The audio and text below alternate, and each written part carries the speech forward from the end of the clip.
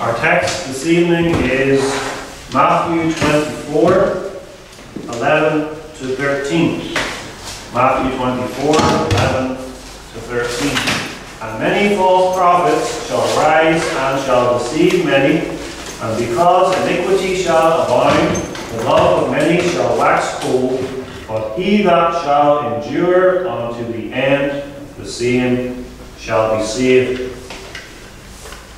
When the disciples asked Jesus Christ at the beginning of Matthew 24, what will be the sign of his coming and of the end of the world, Jesus Christ surpassed their expectations by giving them many signs.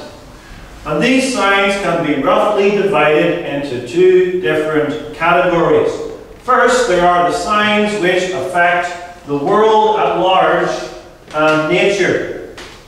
We saw those are things like famines and pestilences and earthquakes. And these are the signs which usually get the most attention when so-called prophecy experts mount the pulpits, because they are the most exciting, they are the most dramatic, and they are, as we saw, powerful indicators of the judgment of God upon a wicked world. And second, there are the signs which affect the church. And there are three of those persecution, apostasy, and preaching. They don't all begin with P, but there's a P in each one of them persecution, apostasy, and preaching. And of those three church signs, you could say, the most important is the preaching of the gospel, which we will consider, God willing, next time, because that is the one which marks the end of the world. Verse 14 says, And this gospel of the kingdom shall be preached in all the world for a witness unto all nations, and then shall the end come. That's a distinction from an earlier statement of Jesus where he said, But the end is not yet. Verse 6. That's the most important of the church signs the preaching of the gospel to all nations. Linked to that important sign are two negative church signs persecution and apostasy. And they are related in this way. The church is persecuted because she preaches and is faithful to the gospel of the kingdom.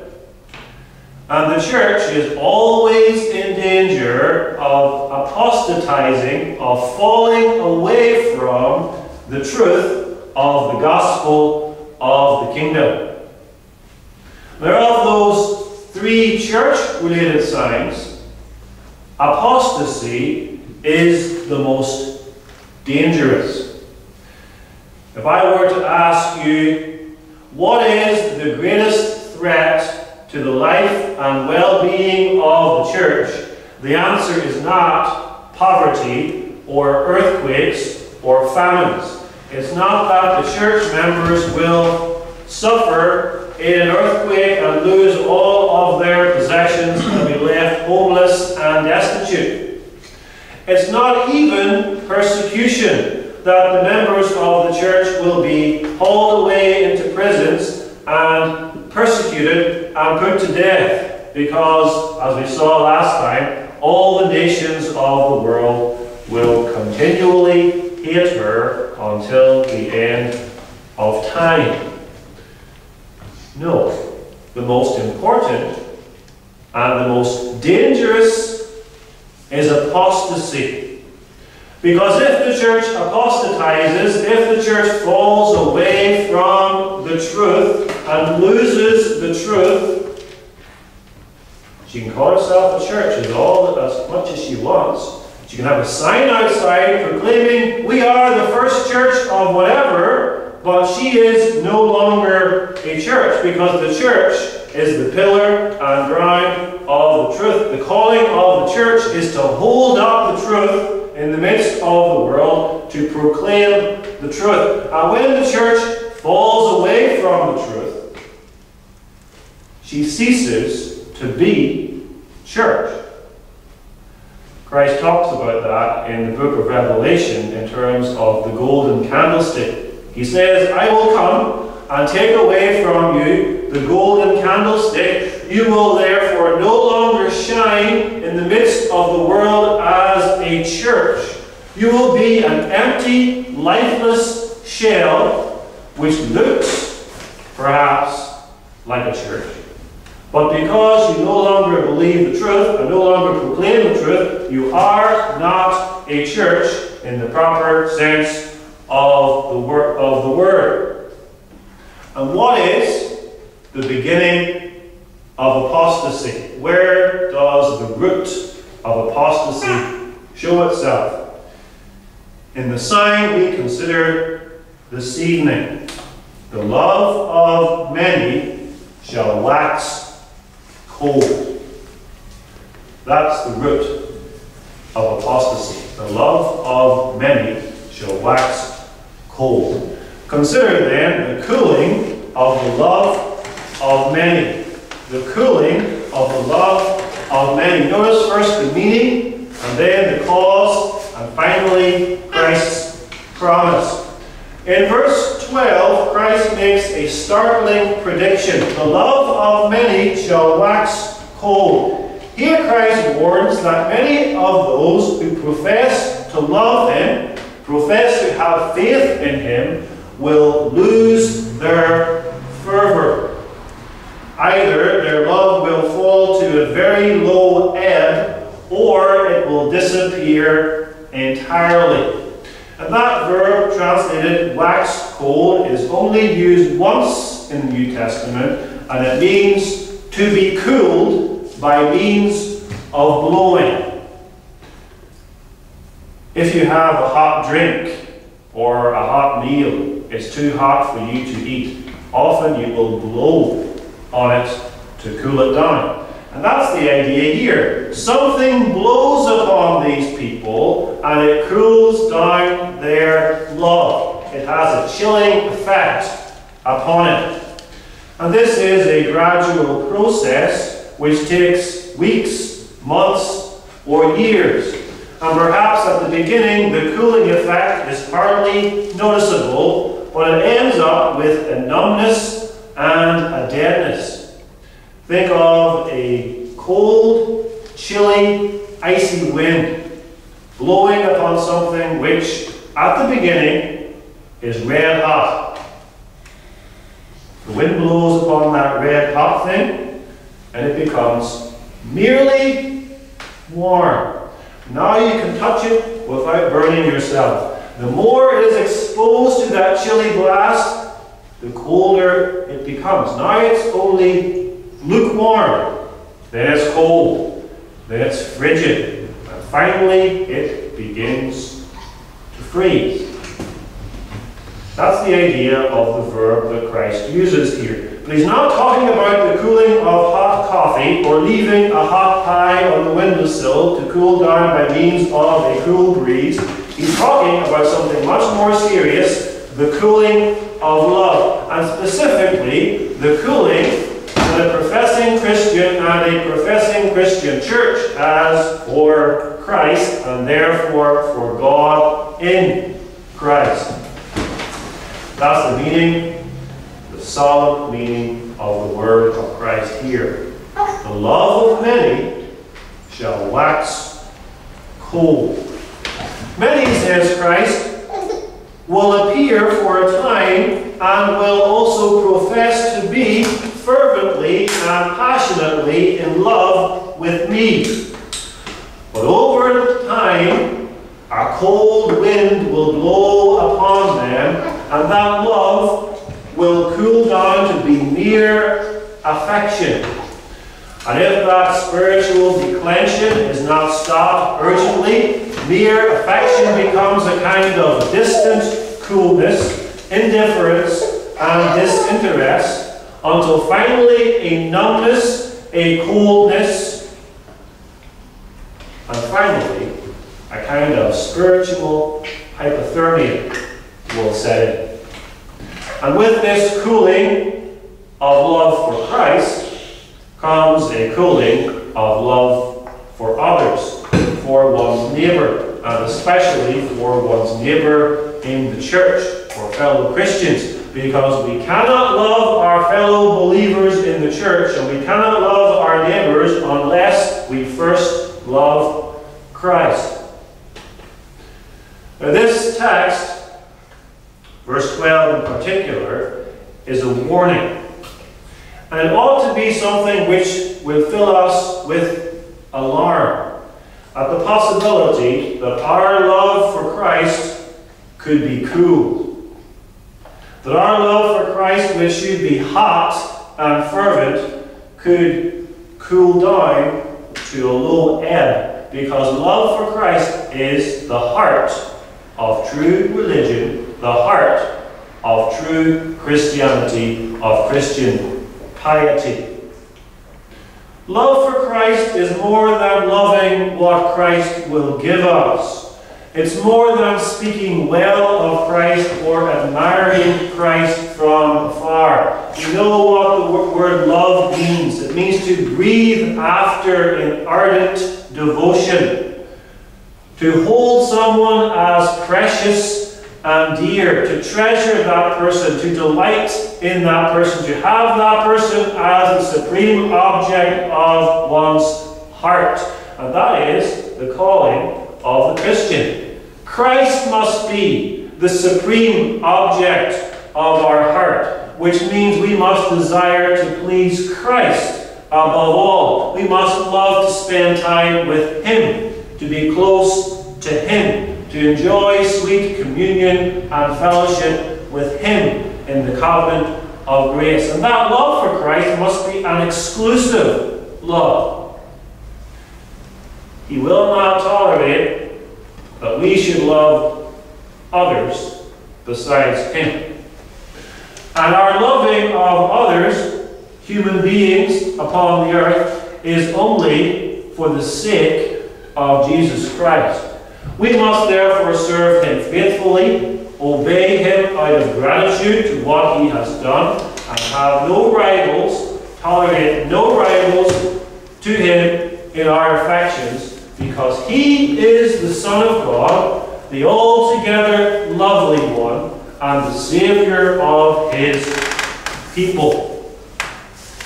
And yet, says Christ, the love of many shall wax cold. We must use the Word of God tonight, therefore, as a kind of spiritual thermometer. Is our love for Christ hot, warm, lukewarm, in danger of cooling, or already very cold? Because this disease, I will call it, the cooling of love, is the most serious spiritual malady we could possibly have. Better, far better, for us to be poor, to have a horrible disease, to suffer persecution, all kinds of affliction, rather than be sick with this malady, the cooling of love, which Christ says will afflict many. The love of many shall wax cold. Because remember, beloved, this is the way Christ will measure us. This is the test that Christ uses in the Bible. Do you love me? He says. Is your love for me hot? Is it fervent? Or is it cold? That's what he said to Peter.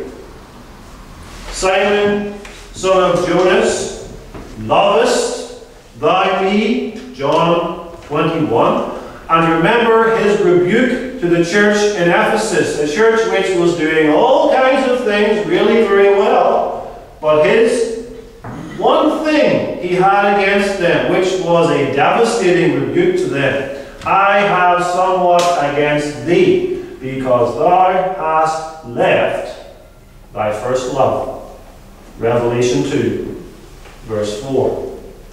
And so love must be the motive behind all of our Christian activity. We must attend church because we love Christ. We must keep the commandments of God because we love Christ. We must hold to the truth because we love Christ. We must defend the truth against error because we love Christ. We must witness to our neighbours because we love Christ. Any other motive for our activity is a false motive. It must be we love Christ. But how do you measure love? For Christ? What is the thermometer that we can use to tell us are we hot or cold or lukewarm or dangerously cold? Because there are various ways of measuring which are to use a false thermometer and therefore to deceive oneself. Some imagine you can measure love for Christ simply by activity. If a person is active in church, active in the community, active in all kinds of projects, that person loves Christ. Now, he might love Christ. That's one important thing that a Christian should do. He should be active, but that's not the way to measure love. Other people say you measure love by the loudness of one's profession.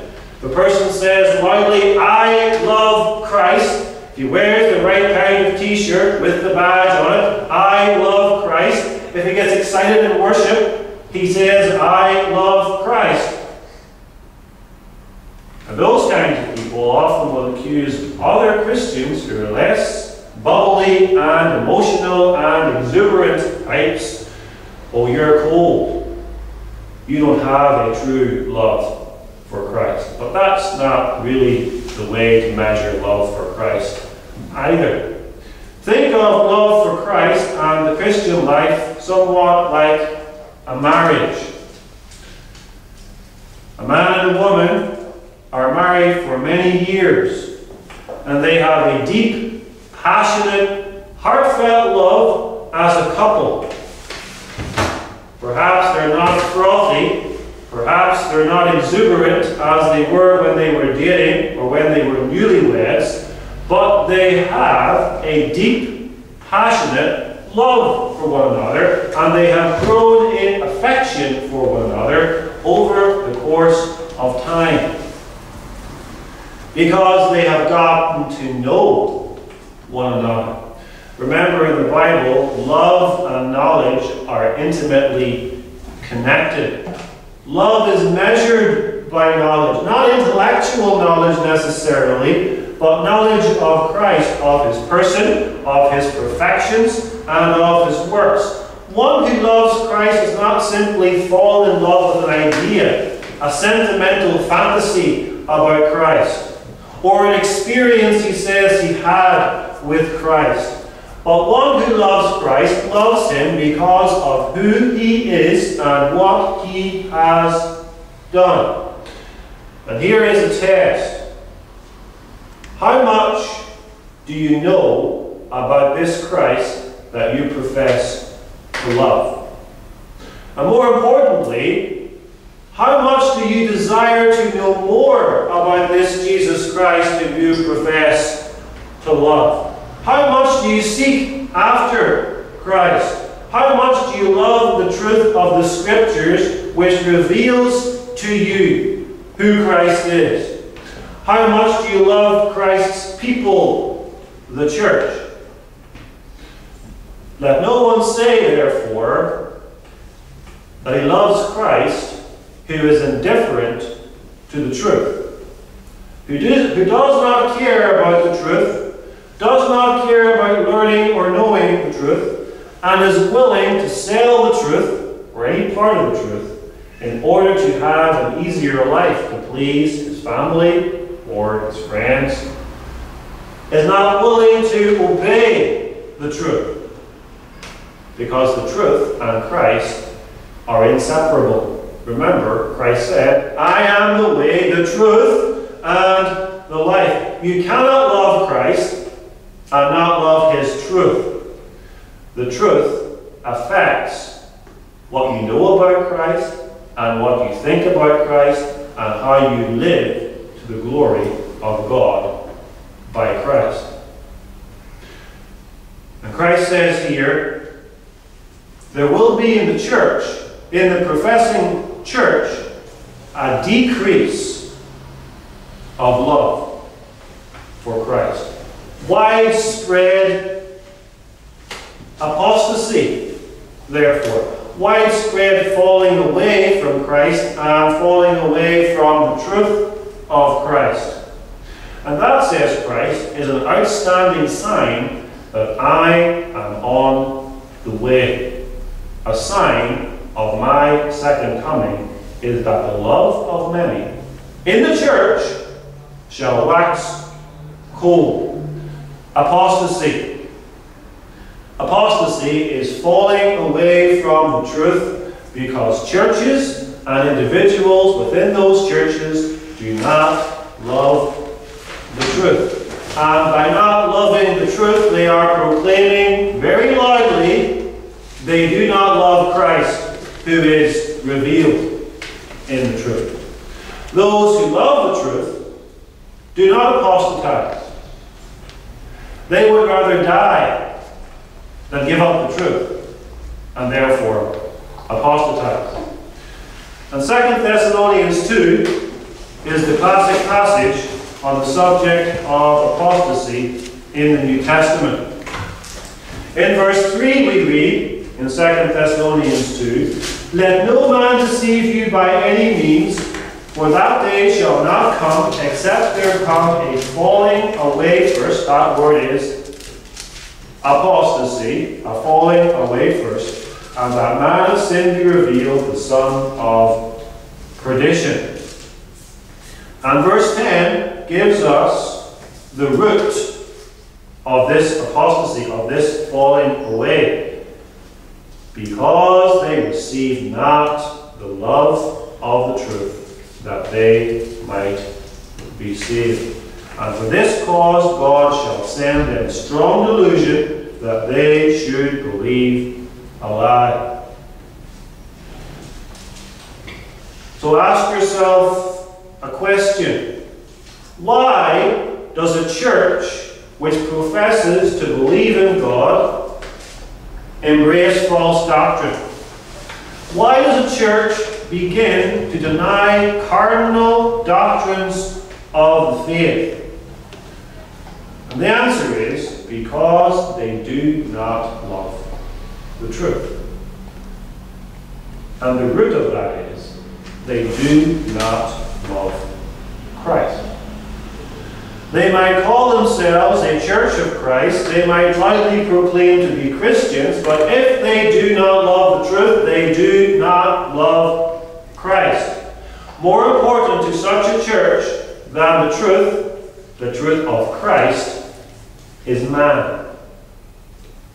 It's a man-centered church which does not believe the truth. Because the truth will upset man.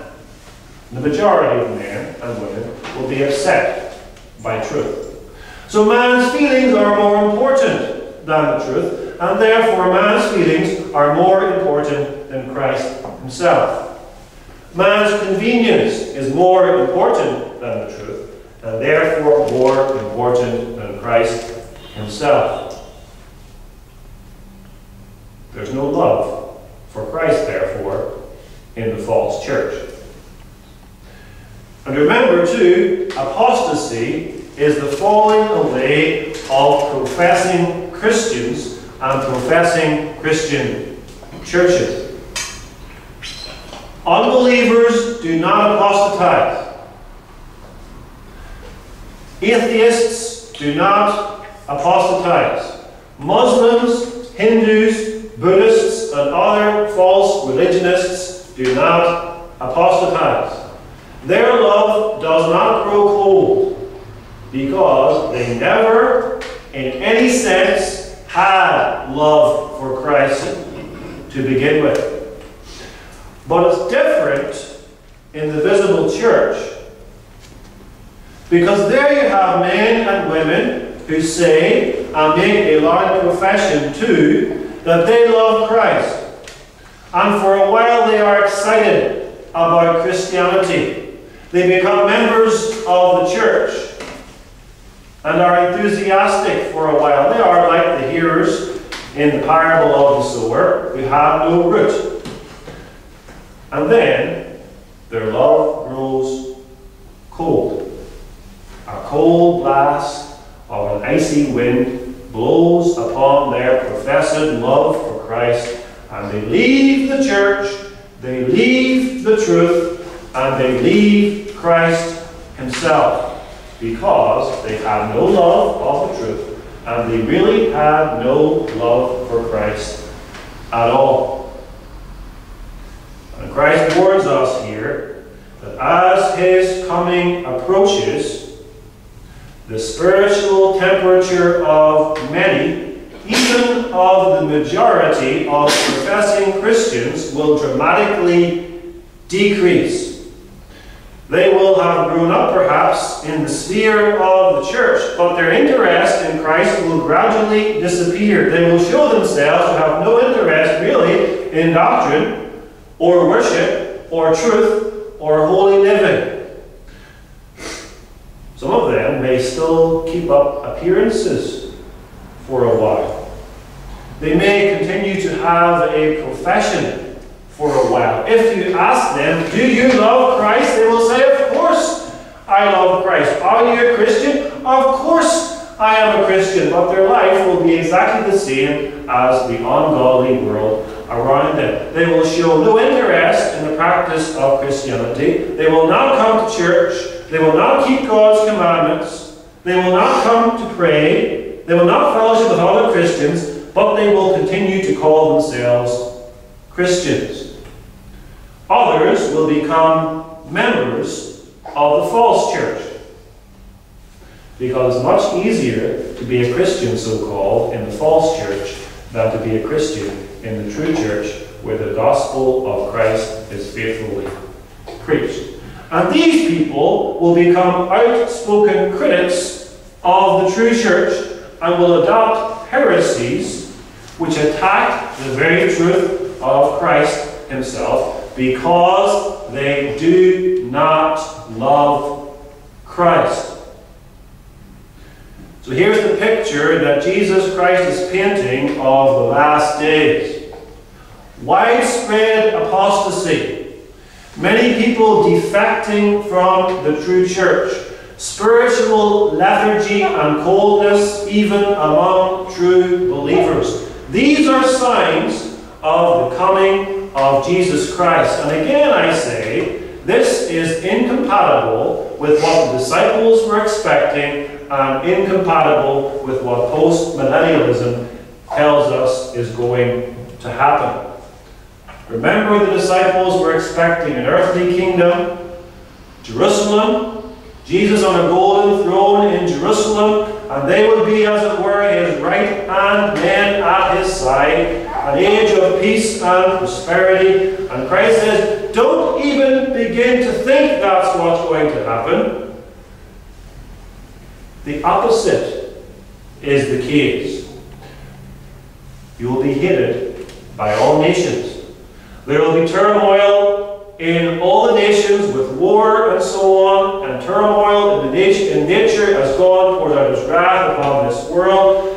Many will depart from the church and follow after false teachers, and many will be seduced away by love of pleasure. Don't expect it to be an easy life for you as you wait my second coming. And postmillennialism has a similar dream. Postmillennialist says there will be a gradual Christianizing of the earth massive advances in the gospel. Many people converted, perhaps even the majority of mankind converted. True churches on every street corner, you could say, and this will last for a thousand years at least upon the earth, and Christ will rule through a triumphant, earthly triumphant church. And there'll be no fear of persecution or apostasy or any trouble at all. That's not what Christ promises here. And if you ask the postmillennialist, well, what about our text? And what about the text we read in 2 Timothy 3 about the last days and perilous times coming and so on? They will say, ah, but the last days, they refer to that period of time between the birth of Christ and guess what? AD 70. And they will say, we are not living in that period called the last days. All of this trouble was concentrated into that period leading up to AD 70, and the fact that there's still persecution and apostasy in the world, well, that was not predicted by Christ in Matthew 24. That's really irrelevant to the whole program.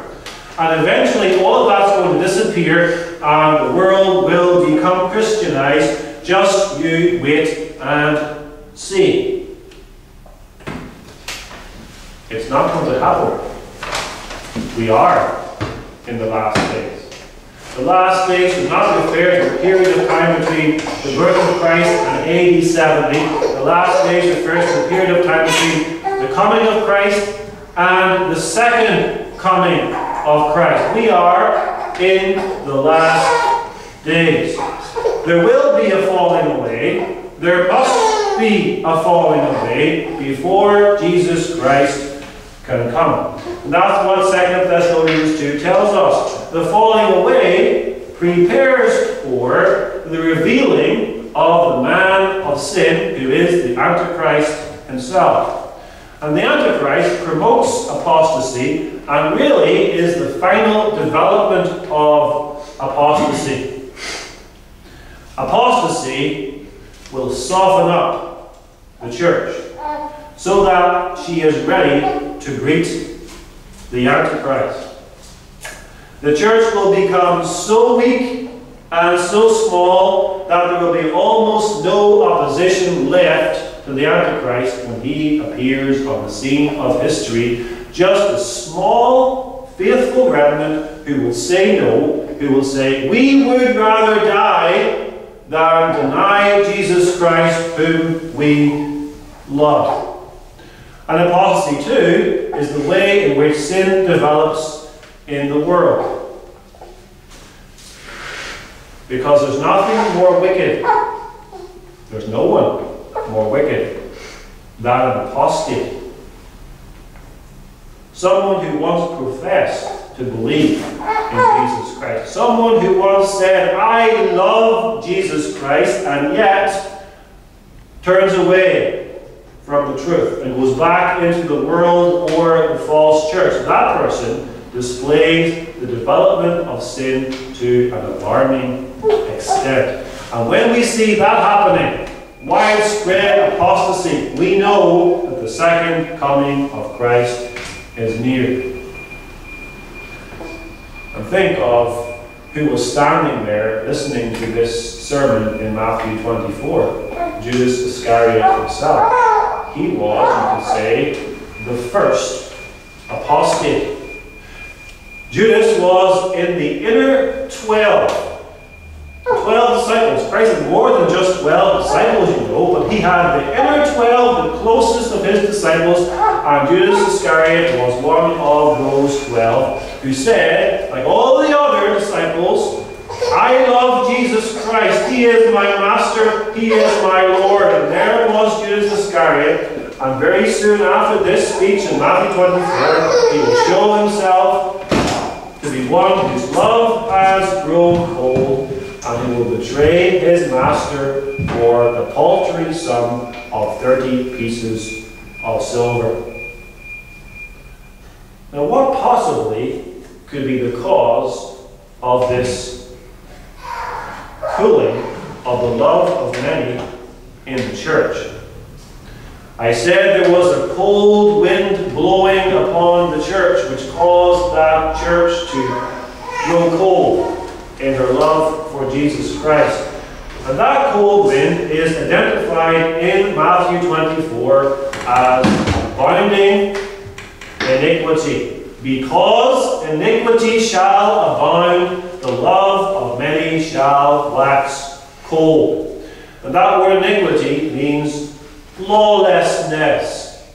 That is to say, being without the law and being in opposition to the law, specifically here, God's law. God's law is the expression of His holy will, that which pleases Him, that which displeases Him, that which He calls His creatures to do. Lawlessness is the expression of man's contempt and hatred for God. Man, as it were, shakes his fist in the face of God and says, I will not have God to rule over me. I will not have his law tell me how I ought to live. I will decide for myself how I will live. And lawlessness has always characterized fallen man since Adam and Eve. Lawlessness is the way of life for every unbeliever in this world. But Jesus says, as his coming approaches, lawlessness will increase. It will abound. It will multiply. It will proliferate in the world. Therefore, we don't expect the world to get better and better and more and more moral. We expect, and we see too, the world becoming more and more wicked, more and more lawless. And that's what Paul describes for us in 2 Timothy 3. This know also that in the last days perilous times shall come. For men shall be lovers of their own selves, covetous, boasters, proud, blasphemers, disobedient to parents, unthankful, unholy, without natural affection, truce breakers, false accusers, incontinent, which means without self control, fierce, despisers of those that are good, traitors, heady, high minded, lovers of pleasures more than lovers of God. And notice verse 5 indicates that this is not a description only of the society of man, but of the church. Having a form of godliness, but denying the power thereof, from such turn away. That's a description of how the world is going to develop in the last days. Wickedness will be unrestrained, and God will increasingly give man over to the lusts of his own heart. Man will not improve, man will develop in all kinds of ways. Technologically, he will advance, but all of his advancements will be in the service of sin. Iniquity shall abound. He will glory in his sin, he will be blatant in his sin, he will boast of his sin. He will flaunt his sin in the face of God. He will cast off the yoke of God's law and give up all common decency. In the last days, iniquity shall abound. And this process will be helped by false prophecy, verse 11. Many false prophets shall arise. False prophecy is itself lawlessness. It's against the first and second commandments of God's law. False prophets contribute to and promote an increase in lawlessness. Look at the false church today. Look at how the false church today promotes lawlessness by redefining sin, by saying that we are no longer under the law of God by saying that sin is no longer a transgression of God's law. Sin is a lack of self esteem, or sin is being intolerant of other people's lifestyles. Homosexuality, that's not sin, says the false church. Adultery, that's not sin, says the false church. Green sins are now the most important sins in the false church. not recycling your bottles and so on. That's a sin according to the false church. But not the sins which are set forth in the Bible. And so the false prophets, they soothe sinners into thinking that God will accept them with their sins and without repentance. False prophets proclaim God loves you and will accept you just the way you are. You can live in sin and still go to heaven. God will give you salvation in your sin and with your sin. You don't need to repent from your sin. And so the false prophet seduces many away from the truth and from Christ in the truth and from a practice of the truth in his life.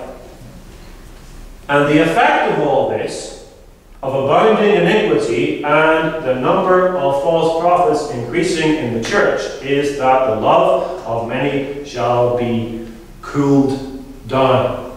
And that's what Jesus says literally in verse 12. Literally, and on account of the multiplying of lawlessness, the love of many shall be cooled down. And here we have what this icy cold wind is blows upon the church and removes from her her spiritual ardor. The devil blows a cold wind of lawlessness, and that causes the church to lose her love for Christ. Just as a man who is trapped on a mountain in the winter in a chilly wind, risks hypothermia because he is exposed to that wind, needs to wrap himself up in warm clothing, and needs to find shelter urgently. So the church and the professing Christian exposed to abounding iniquity is in danger of this spiritual hypothermia. The devil is behind it seeking by this wind of lawlessness to destroy the love, the beloved church of Jesus Christ. And you can see how this works. The abounding of iniquity is attractive to the carnal element in the church. And they show themselves to love sin and all that sin has to offer in our increasingly wicked society more than their professed love for Christ. Years ago, there weren't so many opportunities for sin. Years ago, sin, at least many forms of sin, were socially unacceptable. There was a certain amount of shame to commit certain kinds of sin. Even ungodly society could see that. But now, as iniquity has abounded, it's much easier to sin. And sin is much more accessible as well because you can find sin just by clicking a mouse on your computer today. And the more the church, the professing church, is exposed to this terrible wind, this chilling blast of sin, the more she falls away from Jesus Christ. That was the case with Judas. Money was more important to Judas than Christ. That was the case with Demas in 2 Timothy 4, verse 10, Demas hath forsaken me, having loved this present world. And that's the case with many in the church today. Sin has much more to offer. And the more sin has to offer, the less likelihood there is of such people staying in the church. Lawlessness is a bait which ensnares many because lawlessness offers a free, easy, pleasant, enjoyable life without the restraints of the law of God. And so off they go into the world to enjoy the pleasures of sin. And the false prophets say to them, Off you go, God will bless you, even in the world, because God is a tolerant and a loving God, and with lawlessness and false prophecy, many are swept out of the church into apostasy. But that chilly wind of lawlessness and false prophecy is also a danger for us. And that's really the devil's purpose. He wants to destroy the true church of Jesus Christ.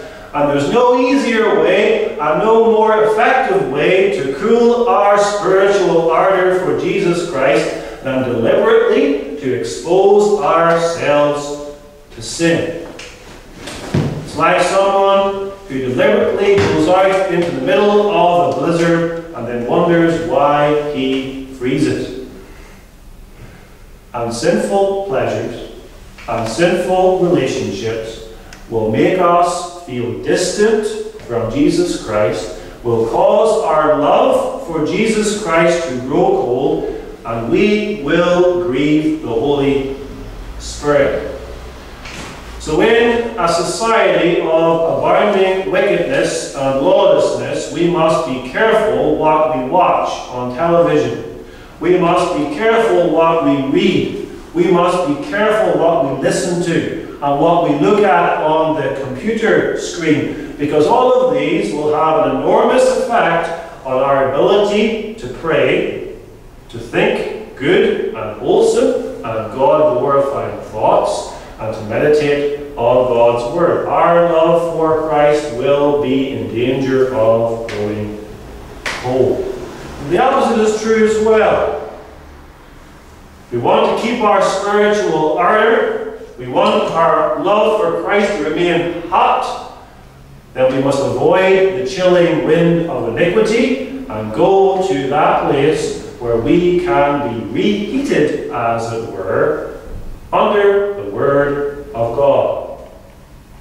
Watch and pray. Come to church. Come to church regularly and faithfully to hear the Word of God. That's the way in which our love will remain hot and warm. That's the way in which the effects of this cold wind will be counteracted by coming to the Word of God.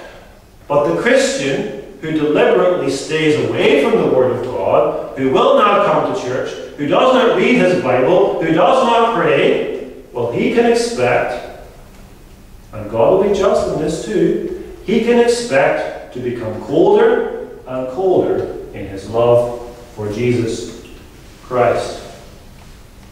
So Christ here has explained and described a dreadful situation which happens in the last days. Many shall depart from the faith. Many false prophets shall arise. These are the things which God's church must endure. And many will fall away, some because of persecution, will be offended by that. Many more will fall away because of lawlessness.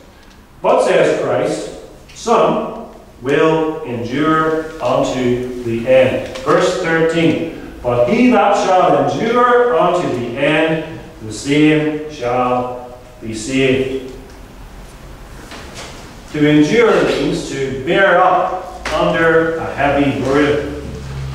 And we saw three heavy burdens which must be endured by the Church of Jesus Christ until his second coming the heavy burden of persecution. He that shall endure that unto the end, the same shall be saved. The heavy burden of abounding lawlessness. He that shall endure that unto the end, the same shall be saved. And the heavy burden of apostasy. He that shall endure that unto the end, the same shall be saved. And notice, it does not say, He that shall escape that, the same shall be saved.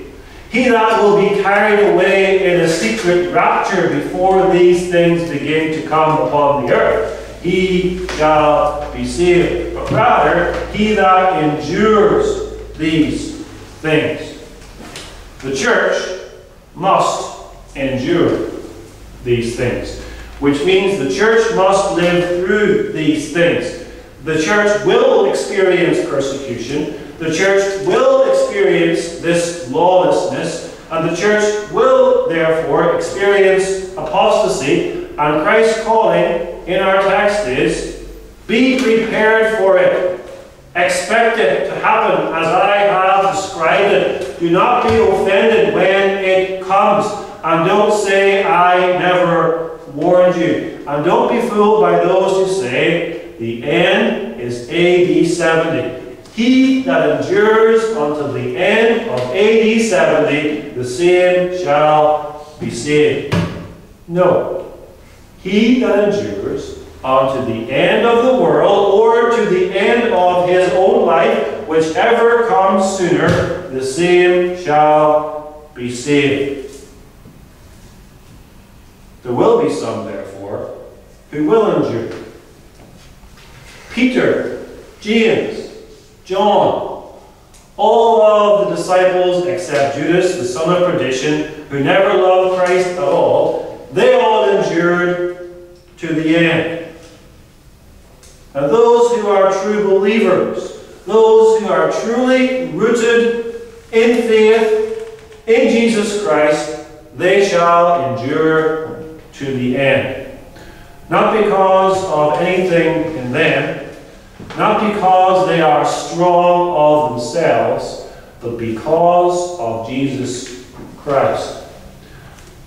By his power, by his cross, we shall endure. And the harder that the devil blows upon us this chilly wind of lawlessness, the more we dig our roots into and cling to Jesus Christ. Because we have no strength of our own. He died for us, His Holy Spirit indwells us, and He has promised to preserve us, that no one will be able to pluck us out of His hand because he will not let us go. Even in the midst of persecution and abounding lawlessness and widespread apostasy, he will not let us go. And that's our comfort as we look to the second coming of Christ. Amen. Let's pray.